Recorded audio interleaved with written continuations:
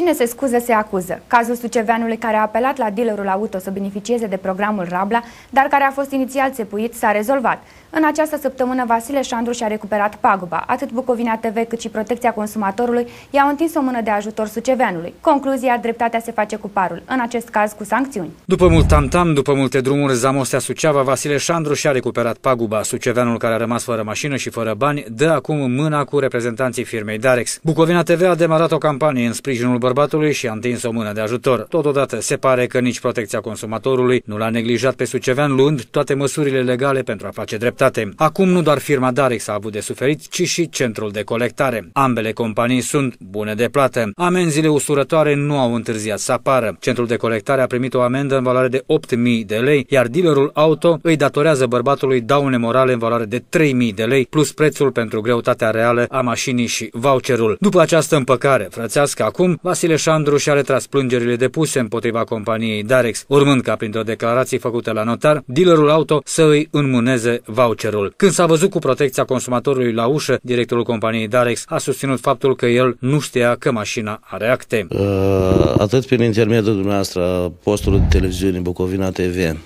și a autorităților, respectiv uh, protecția consumatorului, Trebuie să mulțumesc din suflet pentru că m-ați ajutat în uh, demersuri. Uh, protecția consumatorilor a fost la centru de colectare uh, unde s-a predat mașina. Au, au cântărit-o. O reieșit din,